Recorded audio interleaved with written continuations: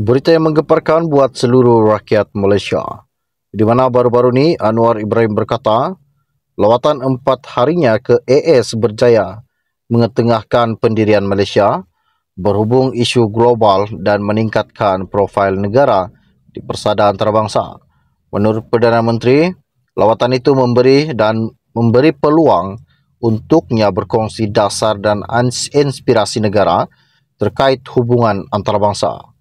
Bercakap pada sidang media pada akhir lawatan ke New York untuk menyertai Perhimpunan Agung Pertubuhan Bangsa-Bangsa Bersatu UNGA ke-78, Anwar juga berkata dia menerima begitu banyak permintaan untuk mengadakan pertemuan di luar sesi beliau. Anwar yang juga Menteri Kewangan juga berkata, lawatan itu memberikan peluang kepada Malaysia untuk mengetengahkan isu-isu antarabangsa seperti konflik Ukraine-Rusia, Islamofobia, perubahan iklim dan masalah di Myanmar. Semasa di New York, Anwar juga berkata dia berkesempatan mengadakan pertemuan dua hala dengan pemimpin.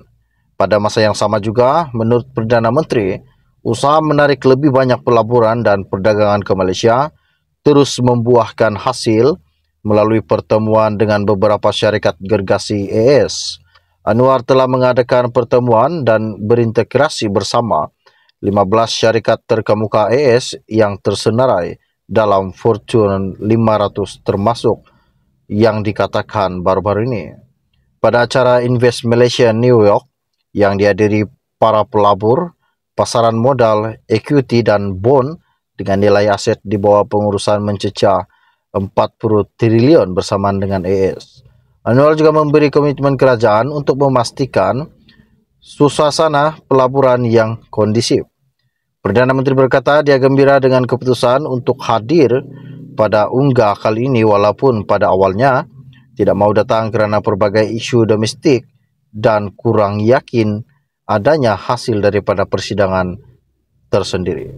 Dia juga memuji kerja keras kaki tangan Kedutaan Malaysia AS dan perwakilan tetap ke PBB Kementerian Luar, Kementerian Pelaburan, Perdagangan dan Industri dan agensi-agensi lain yang terlibat dalam lawatan ini.